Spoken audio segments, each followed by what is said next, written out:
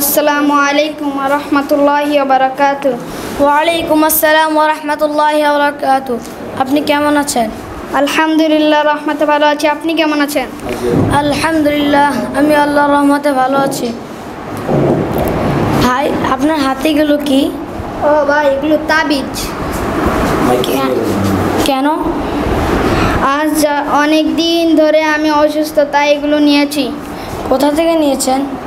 আমাদের বাড়ির পাশে একজন পীর সাহেব হুজুর আছে তার থেকে নিয়েছি। তিনি একজন বড় হুজুর অনেকেই নেয় সুস্থ হয় তাই আমিও নিয়েছি। তাবিজ সম্পর্কে ইসলাম কি বলে আপনি কি জানেন? কেন? তাবিজ তো ভালো অনেকের মনের আশা পূরণ হয় এবং রোগ থেকে মুক্তি লাভ করা যায়। হয় যা কিছু হয় সে সব পীর সাহেবের কেরামতির কারণেই তো হয়ে থাকে। আপনিও যেতে পারেন আপনার কোনো সমস্যা থাকলে। আস্তাকফিরুল্লাহ হাউলা কুয়াত এগুলো আপনি কি বলছেন? আপনি অনেক বড় ভুল করেছেন। আপনি দুটি ভুল করেছেন। প্রথমত আপনি আল্লাহকে বাদ দিয়ে পীর সাহেব হুজুরের কাছে সাহায্য চেয়েছেন দ্বিতীয়ত আপনি তাবিজ ব্যবহার করছেন। এগুলো ব্যবহার করা শির তাবিজ ব্যবহার এই অবস্থা করা অবস্থায় যদি আপনি মৃত্যুবরণ করেন আপ- আপনি কখনো সফল হবেন না। কি বলছেন এগুলো? এগুলো আপনি কোথায় পেয়েছেন?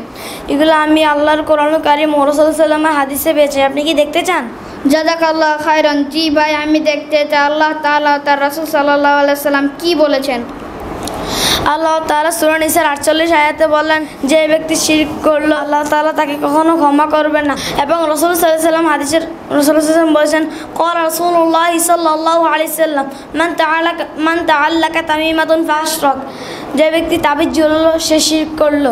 তাই নাকি ভাই? তাহলে আমি এতদিন ধরে বড় ভুল করেছি। জাজাক আল্লাহ খায়রান। আল্লাহ তাহলে আপনাকে উত্তম প্রতিদান দান করুক।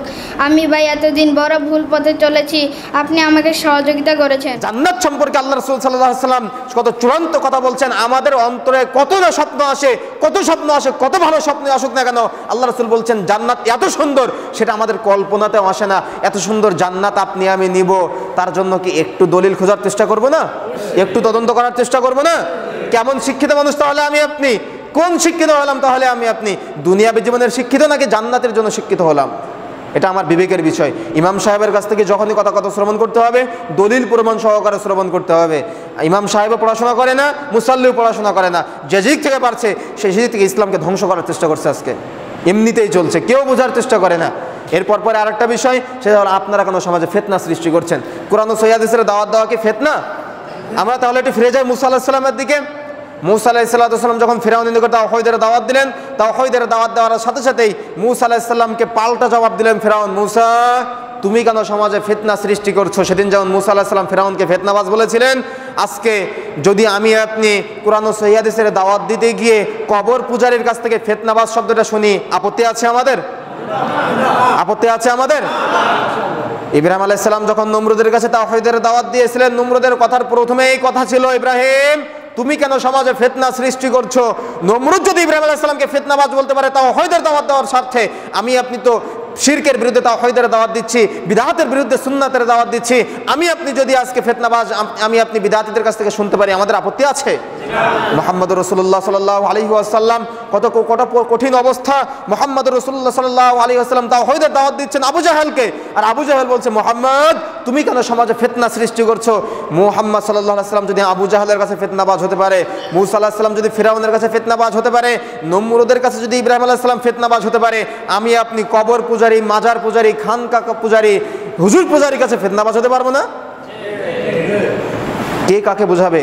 সাতক্ষীরাতে একটা মাজার আছে, গিয়েছিলাম কিছুদিন আগে, হয়তো ভিডিও দেখেছেন আপনারা। আমি গিয়ে জিজ্ঞাসা করছি যে ওখানে বোতলে পানি নিয়ে পানি খাচ্ছেন কেন? তো বলছে যে এখানে যদি পানি নিয়ে পানি খাওয়া হয় তাহলে শরীরের রোগ ভালো হয়ে যায়।